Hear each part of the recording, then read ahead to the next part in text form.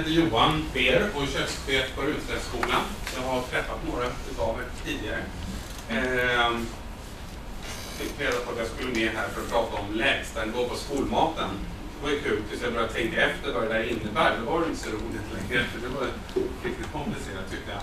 Så efter det Katarina har pratat om här så blir jag har skrivit som en liten betraktelse här som tar tre minuter och, och bara läsa rakt upp och ner. Det är väl som ett eh, perspektiv till det Katarina sagt. Vi jobbar ju mycket med ekoprocent och näringsriktighet och sådana här saker. Och det här låter ju som en bra början på en lägsta nivå. Men precis, vi ska verkligen begära bra ekosiffror. Vi ska ha bra kolhydrater med fibrer, inte vitt raffinerat mjöl. Vi ska ha fleromättade fetter och inte mättade rätta miljöval med kvalitet. Och för att ha råd med detta ska vi dra ner på fettet. Om vi gör det, då vinner vår hälsa, våran jord och våran ekonomi.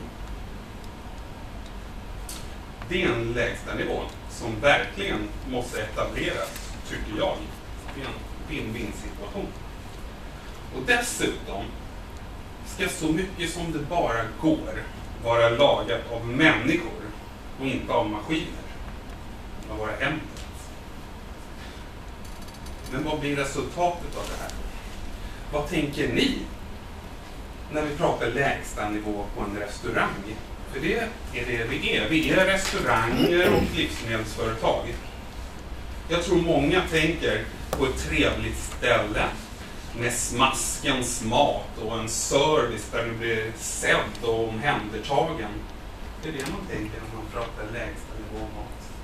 Men oj, nu pratar vi ju inte längre procent, miljö, fibrer.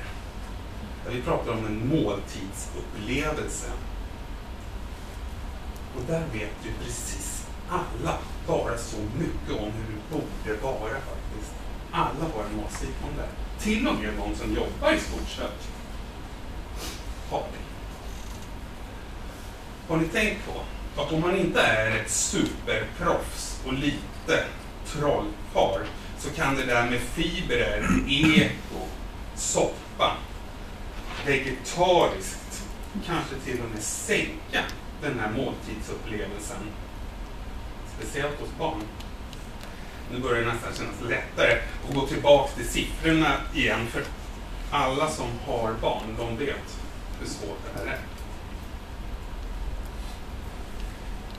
Det är svårt med lägsta nivå när det gäller måltidsupplevelsen i en kommun som vill vara näringsriktig och miljömässigt hållbar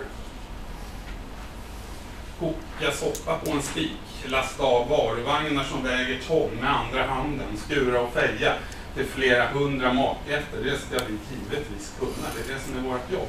Men styla matsalar utan riktiga medel eller titta 1500 människor i ögonen med ett leende på din mun varje dag. Det kan bli svårare när man känner att det inte ens händer räcker liksom inte till Speciellt inte om du ska laga hemlagad mat. Om all personal i skolan hjälps åt i matsalen på många olika sätt så kan man skapa trevnad i en skolmatsal, inte annars. Jag tror faktiskt att de flesta inte är riktigt insatta i varför vi äter soppa en dag i veckan och en annan dag vegetariskt. För om de vore det då skulle man inte klaga bakom ryggen på de som jobbar i köket. Men det händer faktiskt att det finns personalgrupper som gör det. Det har jag förut, jobbar i den här. Alla måste bli insatta i kommunens kostpolicy och förmedla det här till eleverna. Det var en liten anekdot Jag pratade med en, en, en kompis som jobbar på en annan skola, en kille. Han gillar att äta och de har fått en ny kökschef där.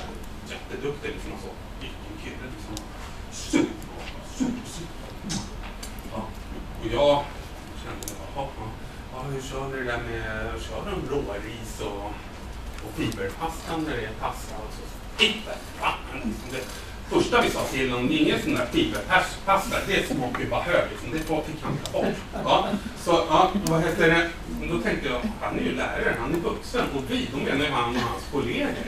Ja, då förstår ni, det börjar bli lite komplext det hela. Det sitter en personalgrupp som beordrar en köksgrupp och fan ta bort det där. Liksom. Ja, det jag jobbar för varje dag och introducerar så mycket som möjligt. Blandar med sås så blir det som ni ska se att den är brun. Det är schyssta kolhydrater. Mm. En kul grej till.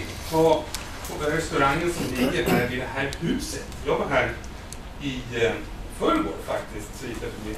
Och eh, nu är det fyra kötträtter, en fisk och en vegetarisk. Eh, kötträtterna, de var smaskigt beskrivna med mellan 40 till 60 bokstäver. Exempel så här, panerad jägersnitzel med stekt potatis, baconskiva och bearnaisesås. De tre andra kötträtterna och fisken de var likvärdiga, men på väggen stod det bara grönsaksgratäng. Det var 15 bokstäver mot snitsens 61. Lite siffror här. Och 60 bokstäver gånger 4 kött och en fisk, det är 300 bokstäver. Mot grönsaksgratängens 15 bokstäver.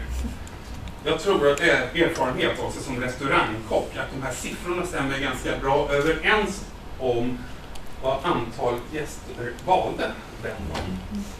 Alltså om vi hade tur så kanske det var 5% av restaurangens gäster som valde grönsakerna.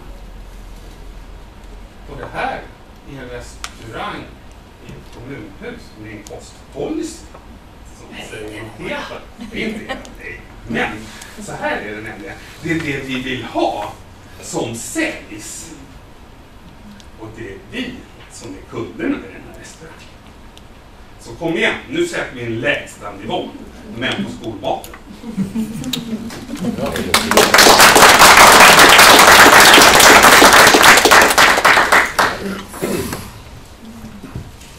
Eh, jag tänkte jag skulle lämna lite öppet för frågor när ni är här. Jag kan tänka mig att det finns frågor. Eh, jag tänker en, när, ni, när ni säger så här att, att alla ska veta varför vi har en vegetarisk dag och en soppa. Och det är väl bra att vi alla i nämnden eh, är medvetna om det. Ja. Så här ligger det till. Jag kan välja kött för, eller till exempel en fläskkarré som eh, kostar under 40 kronor kilot. Eh, den är uppdriven på ett sätt. Jag kan välja en, eh, det är svårt att få tag i men jag kan kanske välja svenskt kött också. Vi ska det står i, i policyn använd så nära kött som möjligt. Något, jag kan inte ordagrant vad som står men det är det som kommer ut av det. Och så mycket ekologiskt som eh, möjligt. Alltså med vår budget och så vidare. Det är bara, då dubblas priset på en gång för den här fläskkarrén. Det är inget billigt. Det kostar, just nu snuddar det 100 kronor så det börjar bli liksom oförsvarbart att använda den där fläskkarrén gentemot den danska. Men då kan man ju fråga varför det är så. Eh, Nötkött klarar vi av att köpa strax under 80 kronor kilo gentemot hälften mot eh, icke-ekologiskt nötkött. Då.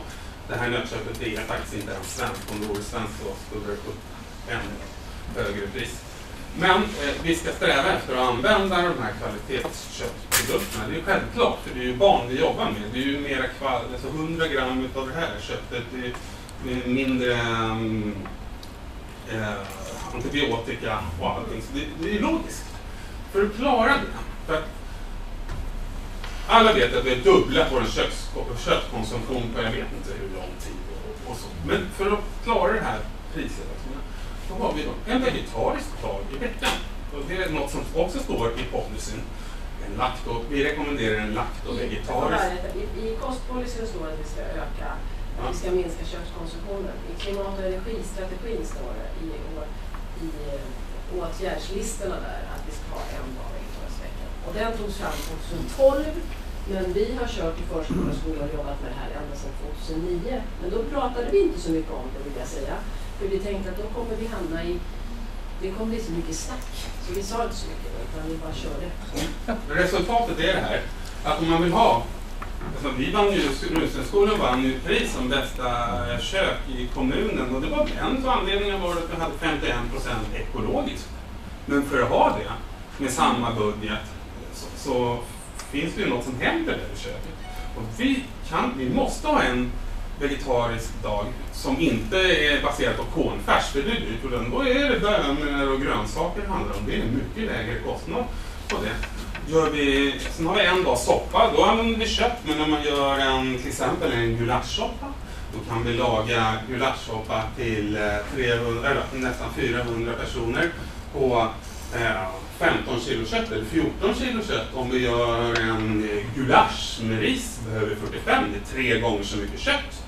Så ja, det är enkelt att förstå då. Då kan vi helt plötsligt, har vi klippt köttkonsumtionen två dagar i veckan så är det en dag med någon blandrätt, någon pastarätt med kött i eller pyttipanna eller något. En dag fisk och sen på fredagen då kan vi liksom banka till och det är riktigt schysst kött. Så att de har det i minnet. Ja, det, ja, det är våra sätt.